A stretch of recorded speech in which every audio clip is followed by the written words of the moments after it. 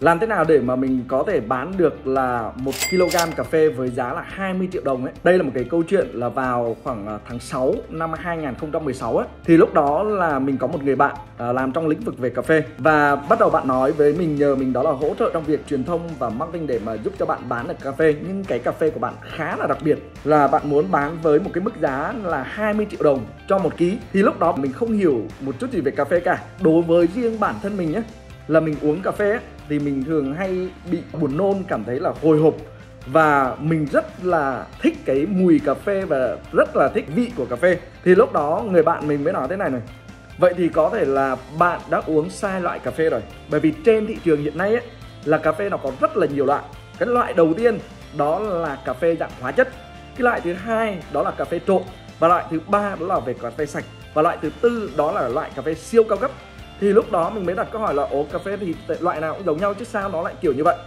Thì lúc đó người bạn của mình mới đưa mình lên trên buôn ma thuật Đấy, thủ phủ của cà phê. Và sau đó thì bạn mới cho mình thấy được những cái loại cà phê mà ở trên thị trường. Thì bắt đầu bạn trải ra tất cả những cái loại cà phê và bắt đầu bạn phân tích cho mình. Như thế nào là một cái loại cà phê hóa chất? Có nghĩa là cái cà phê hóa chất mà chúng ta có thể thấy ở những cái vỉa hè ấy, nó dùng nước nước bình thường thôi. Và sau đó người ta cho thêm một cái loại màu đen đen và sau đó có vị cà phê và người ta mua đó là những cái loại hóa chất. Thì sau đó là cái người bạn này cho mình cái cái công thức pha đó và cho mình uống và mình thấy rằng cũng đúng cái mùi cà phê đó. Nhưng mình vô ngay lập tức là cơ thể mình nó giống như là nó phản ứng với những cái gì mà nó không tốt cho cái sức khỏe con người của mình ấy. Thì mình sẽ có một cái cảm giác đó là buồn ói, mình có một cái cảm giác đó là khó chịu. Thì đó là anh ta cho mình là cái vị đầu tiên. Và sau đó thì anh ta tiếp tục đưa cho mình một cái loại cà phê thứ hai và anh ta dẫn vào cái nhà máy để sản xuất cái loại cà phê đó. Và đây là cà phê trộn và anh ta nói vì sao nó là cà phê trộn?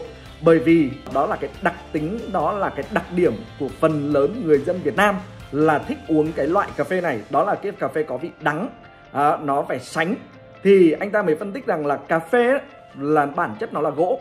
Nên là loài gỗ ấy, thì nó không thể nào mà nó đặc và nó sánh được. Nhưng vì sao nó lại đặc và sánh như vậy? Thì bản chất là đặc và sánh ấy, là do trong cái cà phê này nó có cái gì ạ? Đó là có cái tinh bột. Vậy thì tinh bột nó đến từ đâu? Tinh bột nó đến từ việc đó là đậu nành phải rang gọi là rang cháy thành than. Có là họ làm cho cháy thành than thôi. Thì sau đó bắt đầu họ xoay cà phê cùng với cái bột đậu nành đó. Thì bắt đầu nó tạo mới tính ra cái đặc và nó sánh. Và nó có một cái đó là nó đắng. Đấy, nó đắng. Đắng vì ở trong đó là có cái đậu nành được rang cháy thì nó mới có vị đắng như vậy còn bản chất cà phê thì nó không có cái vị đắng hết như vậy. Thì bắt đầu anh ta mới cho mình hiểu được về cái vị về cà phê. Và sau đó anh ta bắt đầu trộn lấy cà phê rồi lấy đậu nành và bắt đầu trộn và rang xay ra.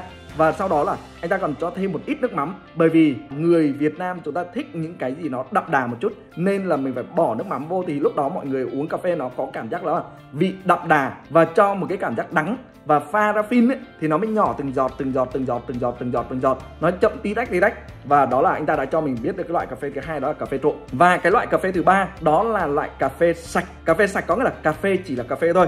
Và anh ta chỉ lấy riêng cà phê và bắt đầu anh ta cũng làm cái quy trình rang và xay và anh ta nói rằng là gì cái loại cà phê này á, chưa phải loại tốt nhất đâu, mà nó chỉ là cà phê là cà phê. Và cà phê này được hái bằng cách đó là gì họ tuốt từ trên cây xanh đỏ chín vàng thì họ đều tuốt ra hết.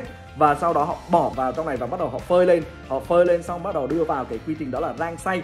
Và bắt đầu họ xay cà phê ra thì uống nó cũng ok, cảm thấy nó bình thường.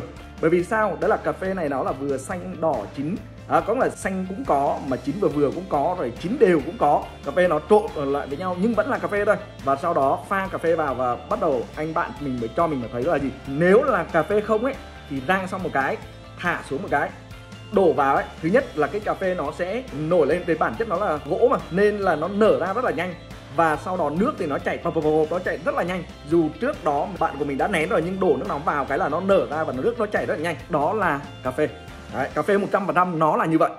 Và anh ta mới nói vậy thì cái loại cà phê đặc biệt mà anh ta muốn bán với giá 20 triệu một ký đó là gì? Và sau đó thì anh ta mới đưa mình lên trên một cái ngọn đồi ấy nó cao độ cao khoảng tầm hơn 1.000 mét. Và trên cái ngọn đồi này á thì nó có một cái vùng cà phê nó rất là nhỏ thôi.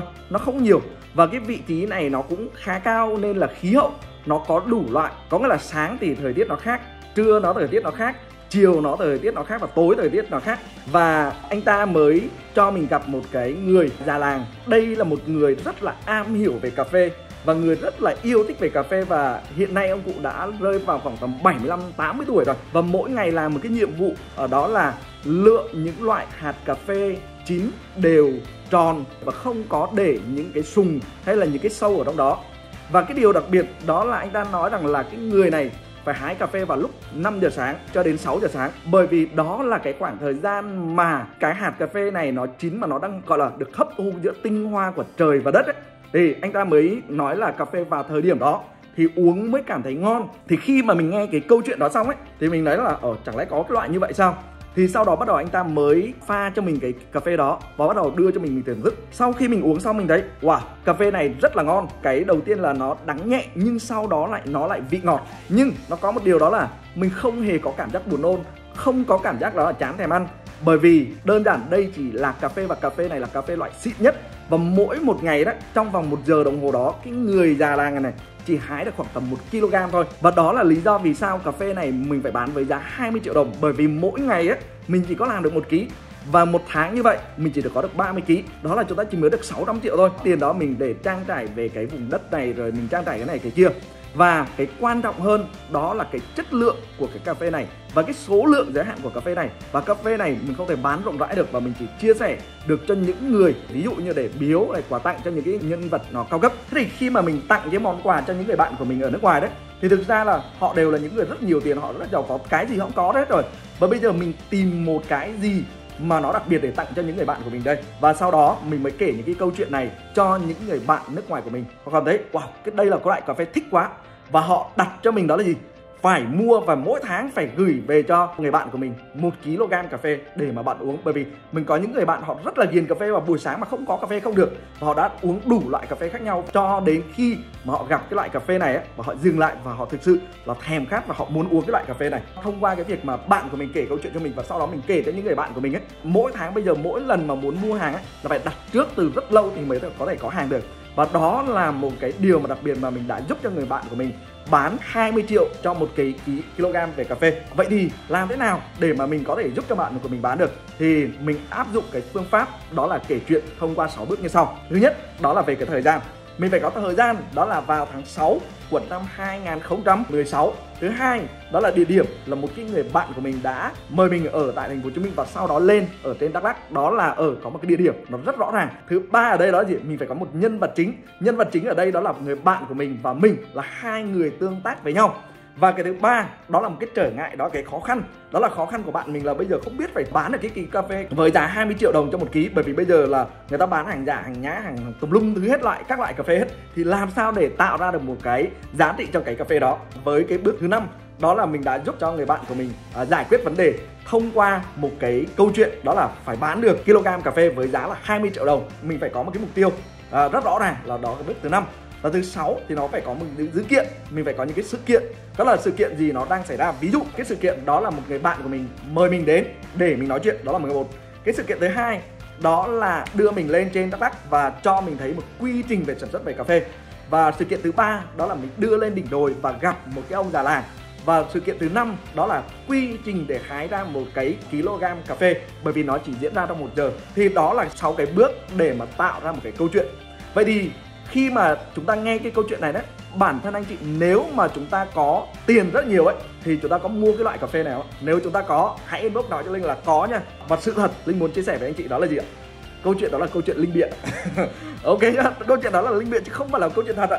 À, nhưng nếu mà chúng ta à, muốn bán được một loại về cà phê như vậy đó thì chúng ta có thể vẽ ra một cái câu chuyện nhưng câu chuyện đó là phải câu chuyện thật. Nếu mà chúng ta bán cà phê và chúng ta phải làm ra một cái loại cà phê đặc biệt nó như vậy, thế thì đây là một cái cách mà linh muốn dẫn dắt bằng một cái câu chuyện đó là một cái thử thách đó là gì?